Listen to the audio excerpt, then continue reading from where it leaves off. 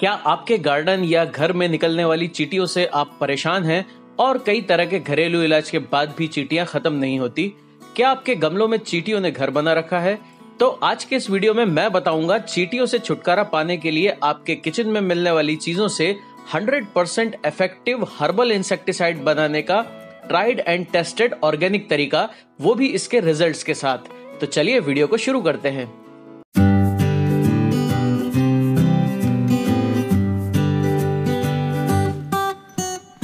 Everyone मैं हूँ शिरीष और आप देख रहे हैं अपना favourite YouTube channel bonsai and gardening zone मेरे पिछले वीडियोस में बहुत सारे व्यूअर्स ने मुझसे चीटियों से छुटकारा पाने के तरीके के बारे में सवाल पूछे थे तो आज का ये वीडियो मैंने खास उन्हीं व्यूअर्स की डिमांड पर बनाया है दोस्तों, चीटियों की कई स्पीशीज हमारे घरों और गार्डन के आसपास रहती हैं, जिनमें हार्मलेस छोटी काली चीटियों से लेकर अग्रेसिव लाल चीटियाँ सबसे कॉमन हैं। इस वीडियो में मैं तीन असरदार तरीके बताऊँगा, जिससे आप चीटियों को मारे बिना उन्हें एलिमिनेट कर सकते हैं। वैसे तो चीटियाँ पौधों को कोई नुकसान नहीं करती। ये मिट्टी में टनल्स बनाकर मिट्टी को ढीला करती हैं, जिससे अच्छा एरिएशन होता है और ये पौधे के लिए काफ़ी फ़ायदेमंद भी होता है। और ये मरे हुए कीट पतंगों का भी सफाया कर देती है। पर प्रॉब्लम तब शुरू होती है, जब ये आपके घर के कोनों में, बगीचों में या गमले में कॉलोनी बनाना शुरू कर देती हैं। ये गमले में लगे प्लांट्स की रूट्स के आसपास की मिट्टी को हटाकर उसे सुखा देती है इसलिए जब आपको थोड़ी बहुत चीटियाँ दिखें, तभी इन पर कंट्रोल कर लेना चाहिए यदि आप इन्हें इग्नोर कर देंगे तो देखते ही देखते चीटियाँ आपके गार्डन पर कब्जा कर लेंगी और बगीचे या गमलों की मिट्टी के नीचे बड़ी कॉलोनीज बना लेंगी और तब इनसे छुटकारा पाना थोड़ा मुश्किल होगा, क्योंकि चीटियाँ अपनी कॉलोनीज बनाने के लिए काफ़ी अग्रेसिव और तेज होती हैं। पौधों पर अक्सर काली चीटियाँ देखने को मिलती हैं जो काटती नहीं है, पर गार्डन की मिट्टी में लाल चीटियाँ भी होती हैं, जो अपनी कॉलोनी के बचाव में हमला कर देती हैं और डंक मार देती हैं। यदि आपके प्लांट पर या बेल पर आपको ढेर सारी चीटियाँ चलती हुई दिखाई दे तो पत्तियों को नीचे से चेक करके देखिए हो सकता है ये चीटियाँ एफिड्स या रस चूसने वाले कीड़ों के कारण आ रही हैं। एफिड्स एक मीठा लिक्विड बनाते हैं, जिसे हनी ड्यू कहते हैं चीटियों को ये हनी ड्यू बहुत पसंद आता है और इसके बदले में चीटियाँ एफिड्स की फ़ार्मिंग करने लगती हैं। एफिड्स को पौधों के अलग अलग हिस्सों तक पहुंचाती है और इन्हें दूसरे शिकारी कीड़ों से बचाती है। धीरे धीरे आपका पौधा इस तरह के एफिड्स और चीटियों से भर जाता है। कभी कभी चीटियाँ बीजों को भी अंदर से खाकर खोखला कर देती हैं, जिससे सीड्स जर्मिनेट नहीं हो पाते। यदि आप इन पर जहरीले केमिकल पेस्टिसाइड्स का इस्तेमाल करते हैं तो इससे सिर्फ़ ऊपर दिख रही वर्कर चीटियाँ ही मरती हैं, पर इनकी असली कॉलोनी पर असर नहीं होता और ये दोबारा आ जाती हैं। साथ ही ये जहरीला कीटनाशक सेहत के लिए भी बेहद नुकसानदायक होता है।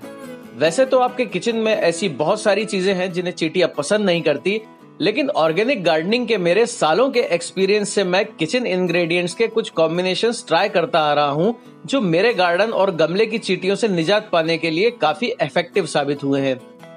सबसे पहला मेथड है नेचुरल और 100% ऑर्गेनिक एंटी आंट स्प्रे बनाने का।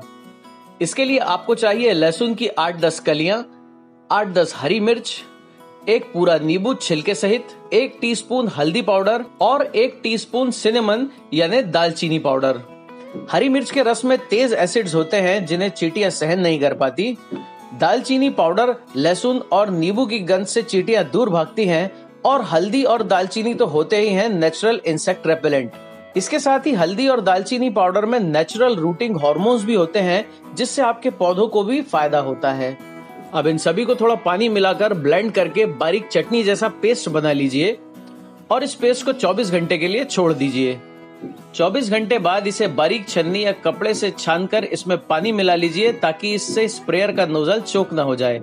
अब एक लीटर पानी में 250 सौ तैयार सॉल्यूशन मिलाकर पूरे प्लांट पर अच्छी तरह से स्प्रे कीजिए, खासतौर पर पत्तियों के नीचे जहाँ पर एफिड्स छुपे होते हैं। एक घंटे बाद जैसा कि आप देख सकते हैं कि सभी एफिड्स खत्म हो गए हैं और चीटियाँ प्लांट से गायब हो गई हैं।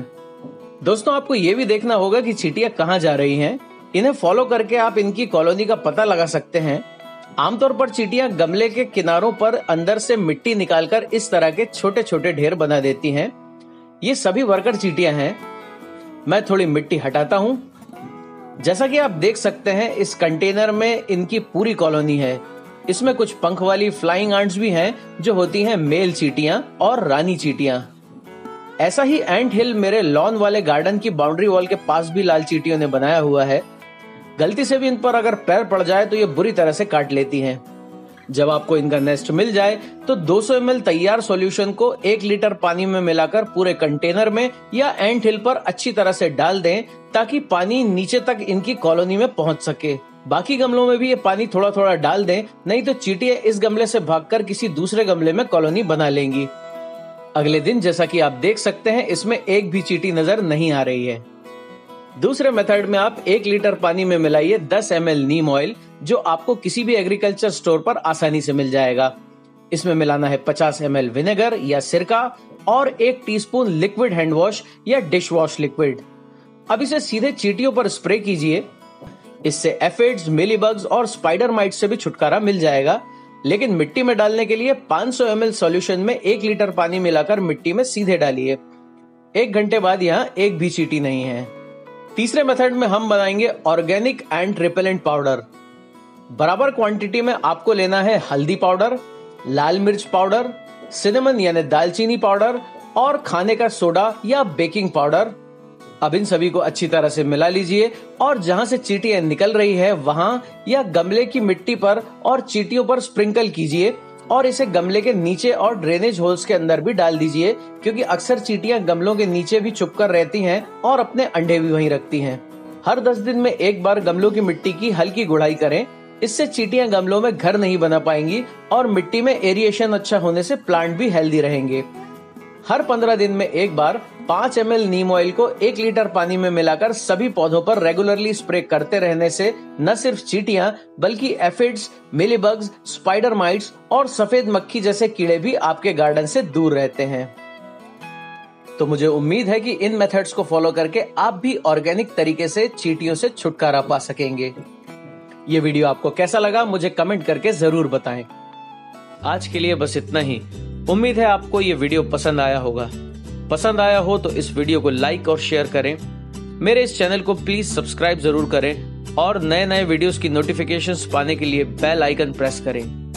Thanks for watching and keep on gardening